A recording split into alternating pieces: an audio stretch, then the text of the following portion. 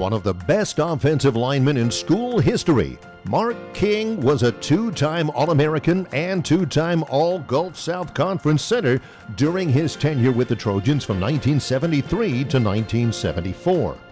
A native of Tallahassee, Florida, King helped lead Troy to a Gulf South Conference championship during his first season as he anchored an offensive line that paved the way for Troy's running backs to average more than four yards per carry.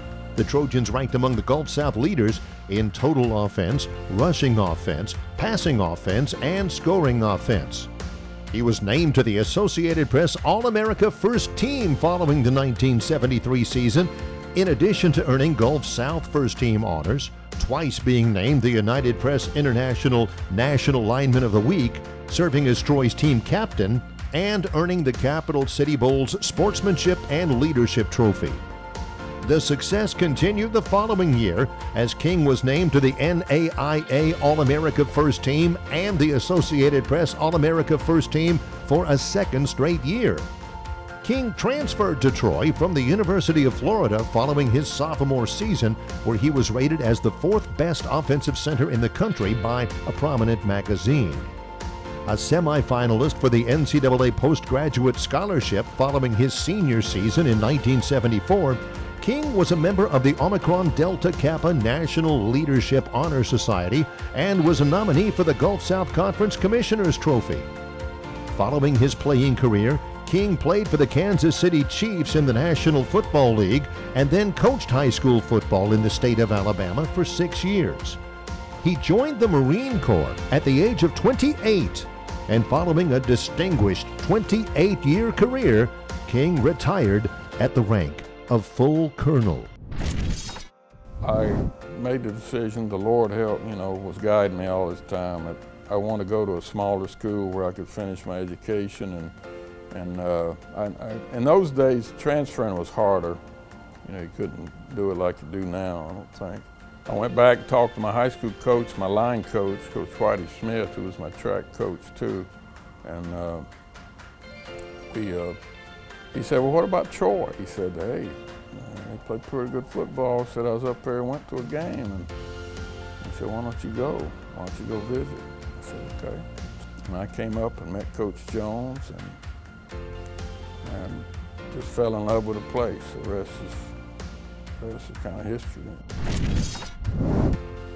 My first kiss with uh, my wife of 45 years now, Carolyn, on the steps of Pace Hall in September 1973. And uh, that's a memory I'll never forget. And we talked about getting married, and uh, I said, look, I'm, I'm kind of crazy with football. She'd tell the story, said, I would not marry, I refused to marry before football season got over. So my second year here in 1974, we, we got married November 30th, 1974. And, and uh, God has really blessed me because she's, she's not just the best woman I know, best person I know.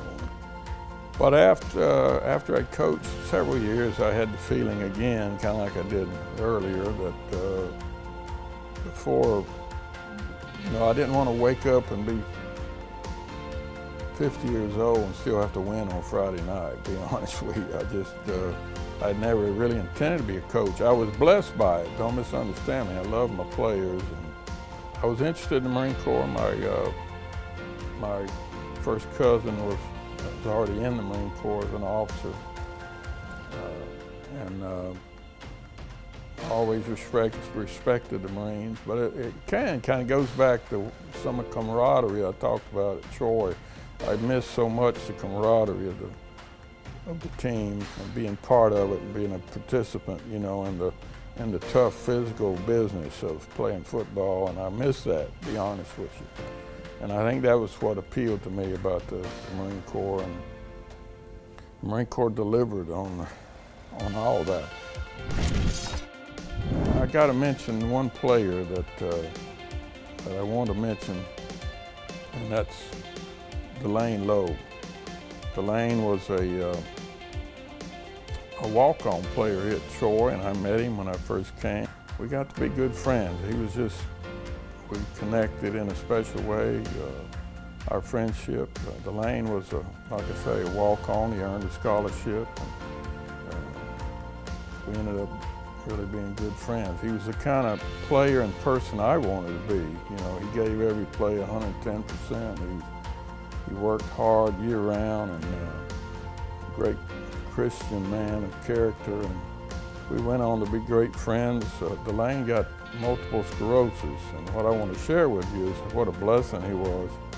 During all this time, him battling some difficult life problems, he was always the same. He was that guy in in the picture in Crampton Bowl with the big smile, always never complained, and just a great, uh, great witness of a, of a friend the Lord has blessed me with, like, like many friends, but he, he speaks to me, he speaks to the Troy spirit that I knew here, the camaraderie, the love for, you know, each other, that we shared tough times together and worked hard, and uh, but he never quit he never quit smiling. And when I was told about this honor I was going to get, uh, the first person I thought of was, uh, honestly, was Delane.